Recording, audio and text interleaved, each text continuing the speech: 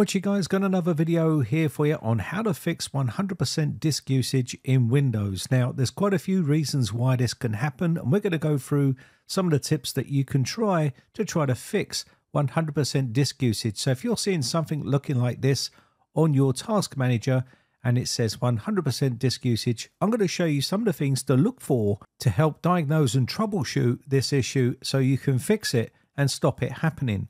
Now, there's quite a few reasons why this happened. The first thing to check is make sure the drive is fully functional. You can check the smart readout with Crystal Disk Info. This will tell you whether the drive is failing.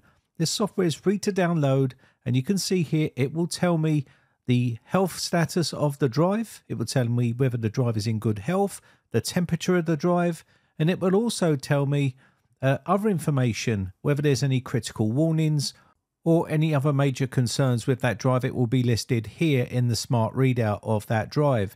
Now, if you're using an SSD or a mechanical drive, mechanical drives has sectors on them, and if any of those have bad sectors, you want to really start thinking about replacing that drive. And sometimes having a bad drive can cause a lot of problems with the computer, and these can go undetected. And this is probably one of the most common uh, things that people forget to do is check their drive to make sure it's in full working order. You can also check the total host reads and writes of that drive and also the power on count uh, and the power on hours of that drive as well. It's important that you check all this to make sure the drive is in full working order and it's not uh, coming to the end of its life. Now, if you know the brand of your drive, you can also download software from the manufacturer's website, whether it be Western Digital, whether it be Samsung, or any other known branded type of drive, you can download the software and check the smart from there and also run some diagnostics on there with their software. If it's one of those cheaper branded uh, types of drives from China, you're probably not going to have any software that you can download and use to check that drive. You can use command prompt and do check disk on that drive to see whether there's any issues with that drive as well. If uh, that is a unknown uh, branded drive and you don't have software available to you.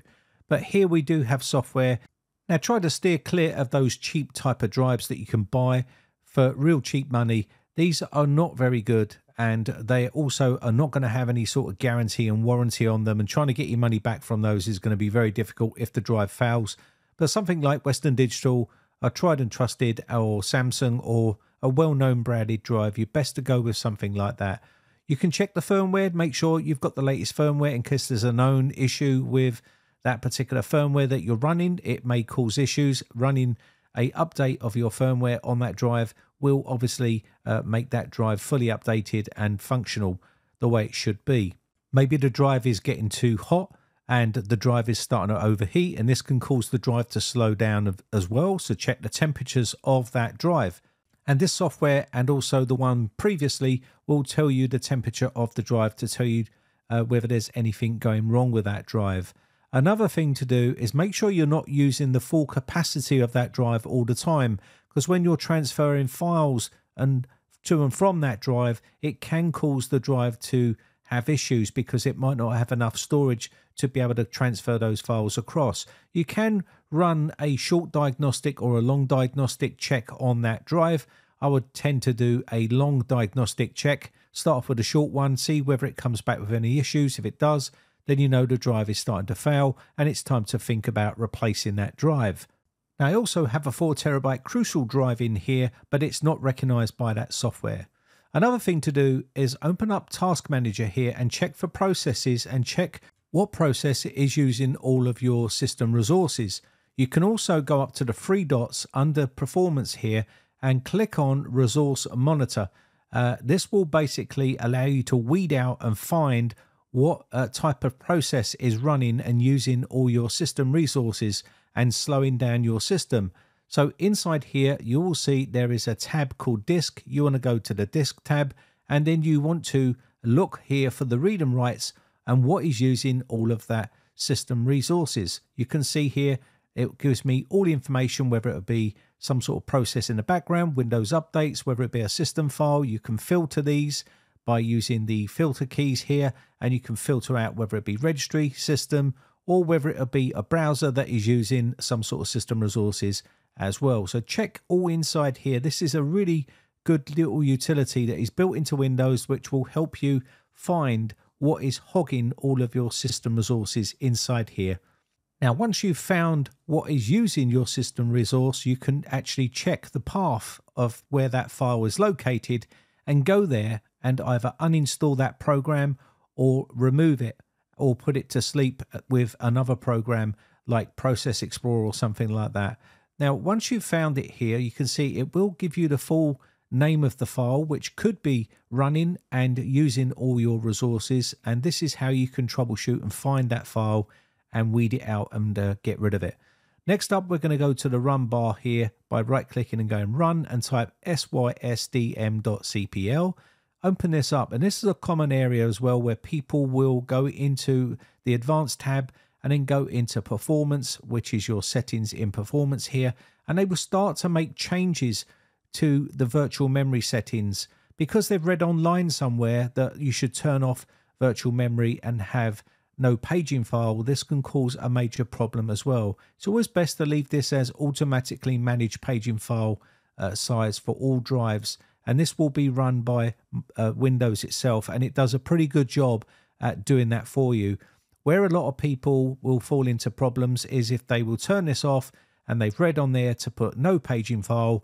And this can also have a corrupt paging file. To solve that issue, what you can do is put no paging file here and set it and then reboot the PC and then come back in and then basically put the check mark back into automatically manage paging file size for all drives. And this will give you a brand new clean paging file on your system. And that way, if you had a corrupt paging file, this can cause excessive use of the hard drive and cause it an issue, whether it be an SSD or a hard drive. Mainly mechanical drives were really problematic with this issue but SSDs are probably not as bad and you probably don't have to worry about that bit as much, but it's always best to try and see whether that rectifies the problem. Another option you can try is the indexing options here inside search. This is also known to cause high CPU usage and also high hard drive usage when there's some sort of issue with it. So what you can do is the troubleshooting area here in the advanced options, and this will delete and rebuild the index on here as well. And basically, this can cause a lot of problems if you have some sort of corruption inside here. So rebuilding this will also uh, re-index all of the files and solve that problem. So if you are having issues and it's related to the search index, then this is how you can resolve that issue. And you would see that inside the resource monitor, it will show up and it will show you that it's to do with this indexing here. So this is how you can troubleshoot and find what is causing the problem on your computer. So let's move on to something else here and close that off and we'll go to the next thing you can try here. And that is going into your settings and you want to delete all of your temporary internet files. You want to go into storage here. You can use Storage Sense if you want to.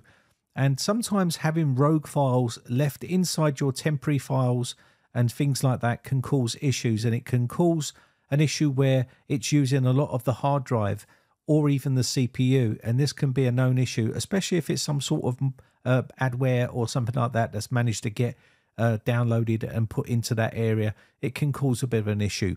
So you definitely want to be removing uh, all of those uh, from there as well. So just run uh, the storage sense here and clean up uh, all of the files by running storage sense. I'm not going to run it on this system because it's a brand new fresh install. But basically, that's what you need to do here. If you don't want to use Storage Sense for whatever reason, and maybe you've disabled it because of telemetry uh, reasons, then you can use the built-in uh, cleanup tool, which has always been inside Windows. It's similar to uh, Storage Sense. This is basically what it's using anyway. This is just the fancy GUI interface version. But you can open it up by going into search here and type in uh, clean, and you'll see disk cleanup utility right here. This has been in Windows for many, many years, and you can run the cleanup system files and run up your temporary internet files here and clean them up, and it will basically clean all of this area. If you don't want to still use this program, you can use something more advanced like BleachBit or one of your other types of programs that you might want to use. But this is the one I would generally go for, and you can check mark some of the areas that you want to clean on that system, whether it be your browsing history, whether it'll be uh, Discord or whether it be some other uh, uh, system files that you want to clean up here, or even the free space, you can clean all that with these particular types of files, which can also remove a lot of the temporary junk files that are left behind on your computer. And some of these could have adware in them if you've been going to some sort of unsavory sites that likes to drop files in those locations and they can run in the background and cause a bit of an issue for you. So let's move on uh, to the next step, which you can do here is check to make sure all of your software is fully updated and you can use whatever method you like here, but Patch My PC Update will tell you whether you've got outdated programs. Having an outdated program could have a well-known bug in that program because it's outdated or it might not be supported anymore and this could be causing the high uh, you know hard disk usage in the background because the program is outdated and it may have some sort of issue with it so always check to see if all your software is updated and you can use this program for free they do have a free version here and download it and basically run this on your system and it will light up in red here and this will tell you which ones are outdated. You can leave the check mark in them and basically perform free updates on this particular system. Click this and it will update the software and download new ones and install them on the system. Now, once you've taken care of all your programs, it's important that you take care of all your drivers.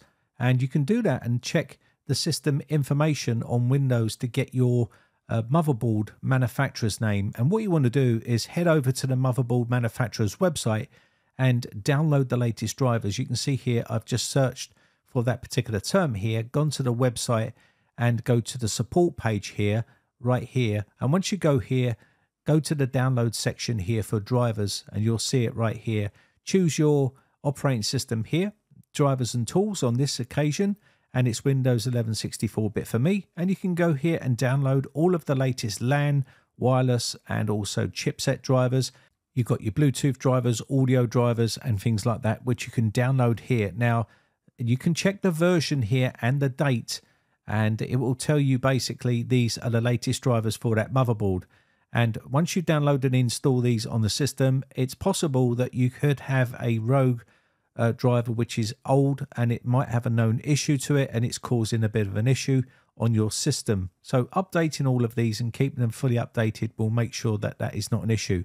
Also check the BIOS version of your motherboard to make sure you're running the latest BIOS, especially if it was a brand new board when it was first released. It might be a known issue to that board and it's causing that problem. Flashing a BIOS will make that problem go away. Checking Device Manager for what driver versions is useful. You can go in here and go to driver and it will tell you what version you're running and you can cross-reference this with the website that you went to to make sure that you're running the very latest drivers on your system.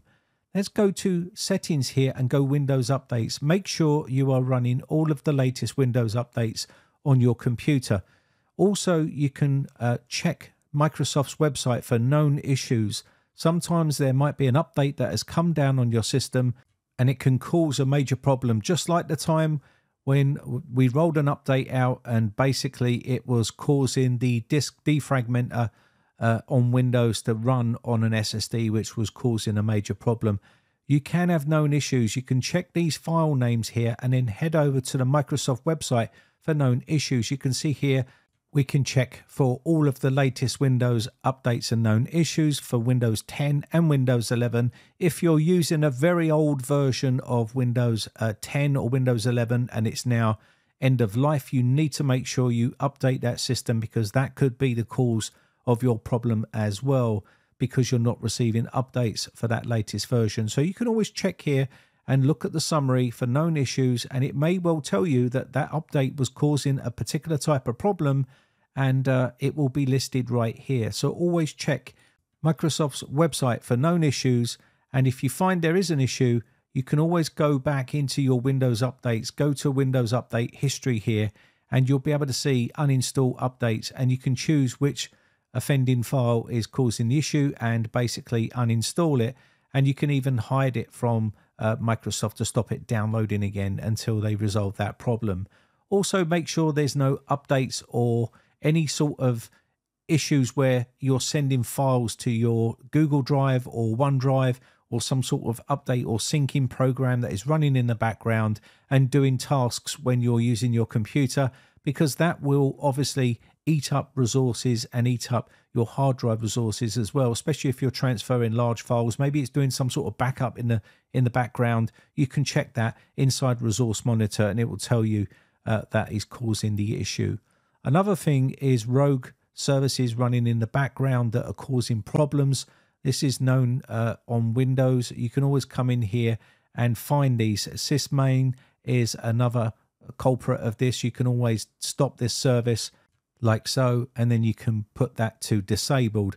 This is pretty common for older systems that are running, trying to run Windows 11 on unsupported hardware. Uh, this can cause a bit of an issue for some reason. I don't know why, but I don't have any issues with it myself. So if you're not having an issue, then uh, you can leave this alone. But if you want to turn it off, you can do. Hyper-V is also another culprit which can cause a lot of problems in the background. And you've got file history service as well. If you are doing some sort of update in the background or it's doing some sort of um, backing up of your files, you can always see it here. And there's some other ones in here like telemetry based stuff that you can turn off that you don't need as well. If that is causing an issue, you can turn these off right here and just click stop. Just make sure you know what you're doing here before you start turning services off. Otherwise things won't work properly. But these are safe to turn off here. So that's the services area. Now, another thing you definitely want to check is to make sure that you don't have any sort of malware or adware or some sort of uh, nasty stuff running in the background on your computer. You can use whatever software you like to run a scan on your PC. And I've got ESET on this system here. You can run a scan with this and it will do a full in-depth scan. I would do a full custom scan of your C drive to make sure you don't have any sort of uh, nasty stuff running in the background. This is a common problem where people get adware and it will start to slow down the system a little bit and it can cause a problem. So this will also be detected inside System Resources or Process Explorer or any of those programs that you can use to try to weed out these sorts of things that are running in the background or taking up a lot of system resources on your system. Anyway, I hope this video has been some sort of use to you. My name has been Brian from briteccomputers.co.uk. Let me know in the comments section below whether this has been useful or if you like this sort of content. I'll be happy to read your comments. And I shall catch you in the very next video. Thanks for all my YouTube members. I really do appreciate the support. Catch you in the next one. Bye for now.